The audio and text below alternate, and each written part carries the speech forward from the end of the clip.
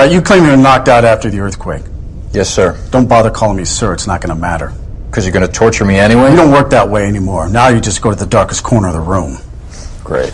How long were you unconscious? Sun had set when I came to. There was a broadcast. Were you out for six hours? Eight?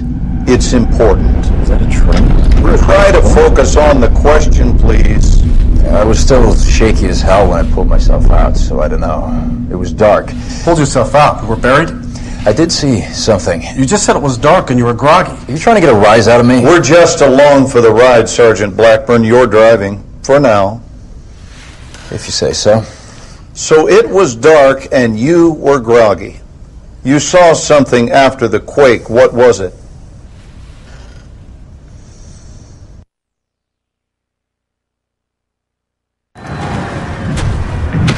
On the other hand, I have a better idea.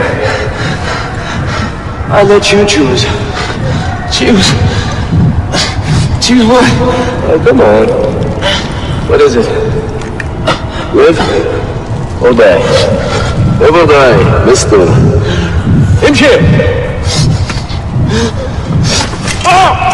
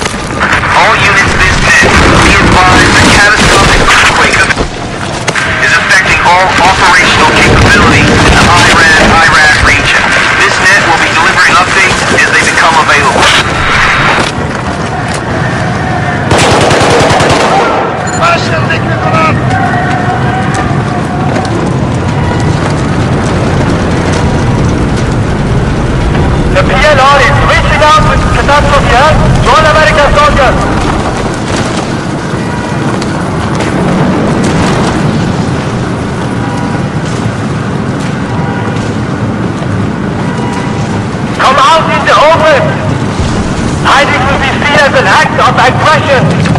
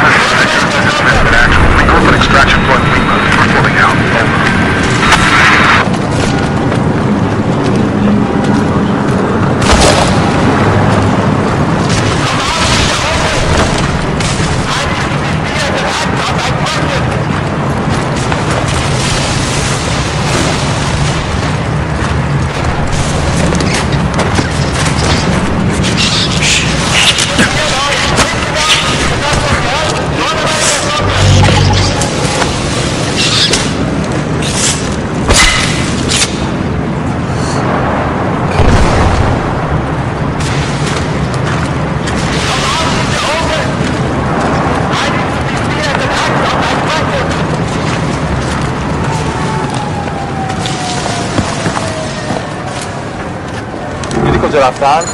نمی‌تونن زیاد دور رفته باشن